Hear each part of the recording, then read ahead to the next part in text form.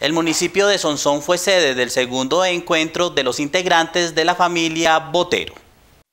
Estos encuentros se han venido realizando con el fin de reunir el mayor número de personas que cuentan con este apellido, el cual ha tenido gran relevancia en la historia de Sonsón. Lo hicimos a razón de este libro, yo soy escritor y soy historiador de la familia, eh, esta es mi segunda publicación, cuando se hizo el lanzamiento hace un año de este, el segundo tomo de una saga de, varios libros sobre la historia de la familia, eh, decidimos reunir e integrar a los boteros en Sonsón, porque ya lo habíamos hecho en otras localidades del país, y eh, Sonsón, por haber sido como la cuna de los boteros en Colombia, eh, fue muy, era muy importante hacerlo aquí, lo hicimos, y de allí surgió eh, la iniciativa de los mismos habitantes de Sonsón, de apellido Botero, de continuar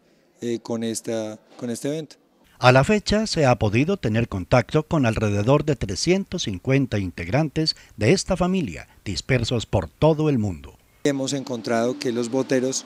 eh, no solamente están presentes en Colombia, están presentes en países como Argentina, Brasil,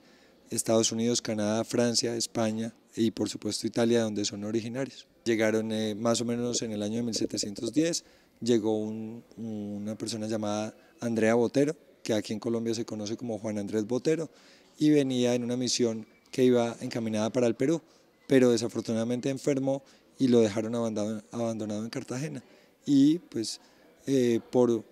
eh, historias y por información sabía que en Antioquia había oro, entonces se vino en búsqueda del oro.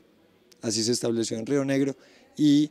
eh, se esparció su semilla por todo Colombia. Toda la información sobre esta investigación se puede encontrar en la página web